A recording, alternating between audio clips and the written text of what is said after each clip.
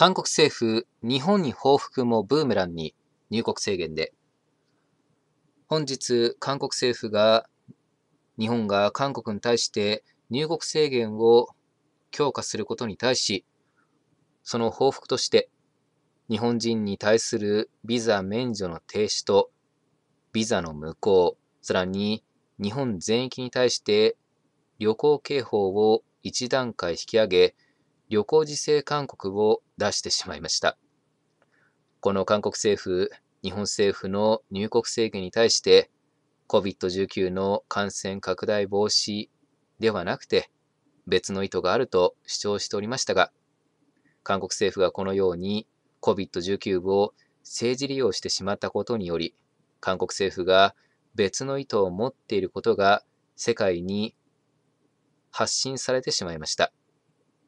完全にブーメランになってしまっております。現在も韓国において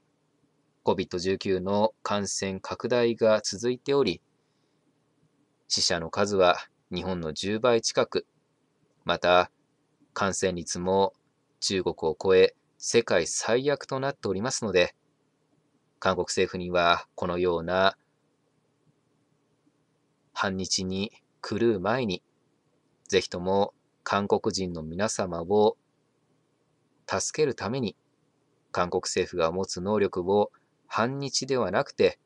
韓国人のためだけに使っていただくように、韓国人を助けるためだけに使っていただくように、お願いいたします。以上になります。ご清聴いただき、ありがとうございました。